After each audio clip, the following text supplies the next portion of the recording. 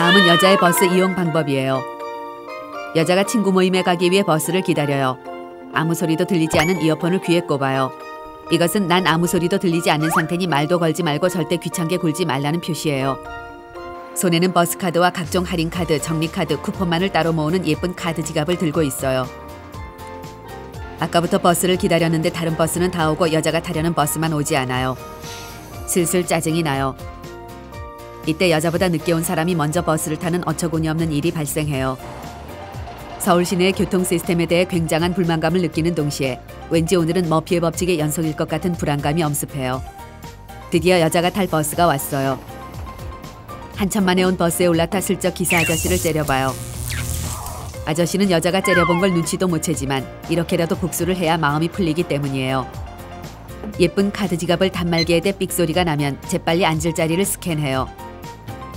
이때 피부 최대적인 자외선이 내리쬐지 않으면서도 직접적으로 온풍기 바람은 쐬지 않아도 돼 피부에 자극이 없는 통로 쪽 자리가 생겼어요. 심지어 옆좌석에는 엉덩이가 작아 둘이 앉아도 불편함을 전혀 느끼지 않을 것 같은 빈약하게 그지없는 여자가 앉아 있어요. 천천히 자리로 다가가요. 이런 씨, 갑자기 어딘가에서 못생긴 가방이 날아온과 동시에 안면 철판 아줌마가 달려와 낼름 앉아버렸어요. 순간의 방심이 화를 불렀어요. 아줌마는 무적이라는 걸 잊어선 안 돼요. 하지만 여자는 앉는 것을 절대 포기할 수 없어 재빨리 버스 안을 다시 스캔해요. 삐까! 저기 곧 내릴 듯한 액션을 취하는 여자가 보여요. 여자는 재빨리 눈망울이 커 코사슴을 닮은 여자의 앞자리를 선점해요. 자꾸만 창문 밖을 두리번거리고 지갑까지 꺼내 손에 쥐고 있는 것으로 보아 곧 내릴 것이 확실해요. 혹시라도 그 자리를 노리고 있는 다른 경쟁자의 눈빛이 느껴지면 앉아있는 꽃사슴녀를 감싸듯 양쪽 손잡이를 잡으며 내 영혼은 이미 이 자리에 착석했으니 꿈 깨셔. 라는 단호한 의지를 어필해요. 그 후 꽃사슴녀가 내릴 때 여자가 앉기 쉬운 방면으로 길을 살짝 터주면 그 자리를 득템할 수 있어요. 이가에 미소가 번지며 곧 자리에 앉을 수 있을 거란 희망에 부풀어요. 그런데 멍미 곧 정거장에 도착한다는 방송 안내에도 꽃사슴녀는 지갑을 손에 쥔 채 꼼짝도 하지 않아요.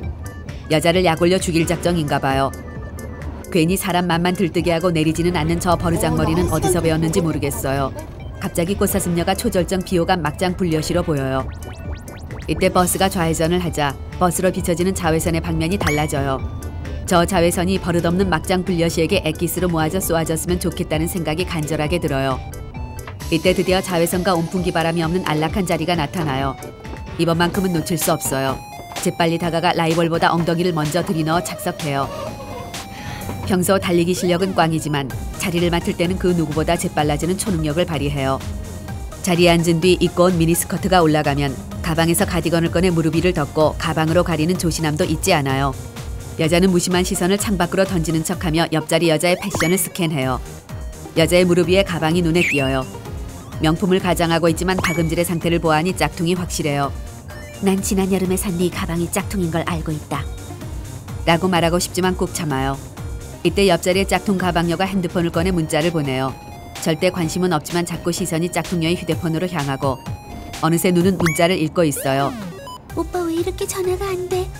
킥킥 남친이 바람을 피우는 게 확실해요. 여자는 속으로 다른 여자랑 놀고 있으니까 전화를 안 받지 하며 고소해해요. 짝퉁 가방녀가 시선을 의식했는지 슬쩍 여자를 돌아보면 여자는 아무 일도 없었다는 듯 핸드폰을 거울 삼아 앞머리를 정리하고 아무 소리도 나지 않은 이어폰을 귀에 꽂고 노래를 흥얼거리는 척해요. 진짜 더럽게 눈치 주네요. 이제 문자 구경도 못하고 심심해 죽을 지경인데 뒷자리에 앉아있는 아주머니들의 수다가 여자의 달팽이관을 자극해요. 뭔가 굉장히 흥미롭고 재미있는 이야기가 분명해요. 자꾸만 그쪽으로 귀가 쏠리고 관심이 가요. 남편 욕, 시댁 욕, 옆집 아줌마들 욕하는 아줌마의 수다에 자신도 모르게 빠져들다가 그만 아줌마의 이야기에 빵 터지고 말았어요.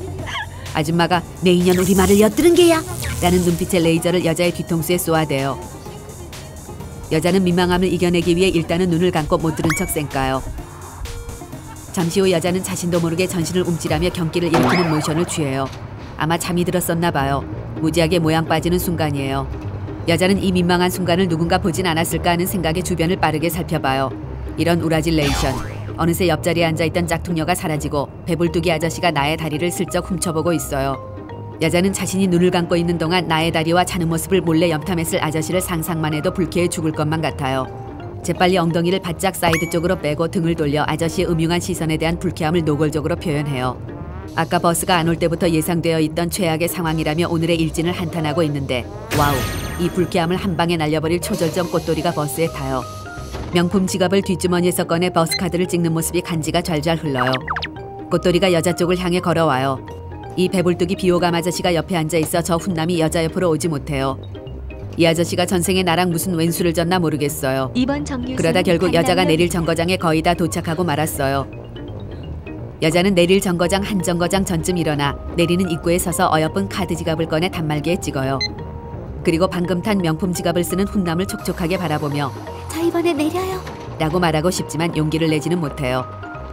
지금까지 여자의 버스 이용 방법이었어요.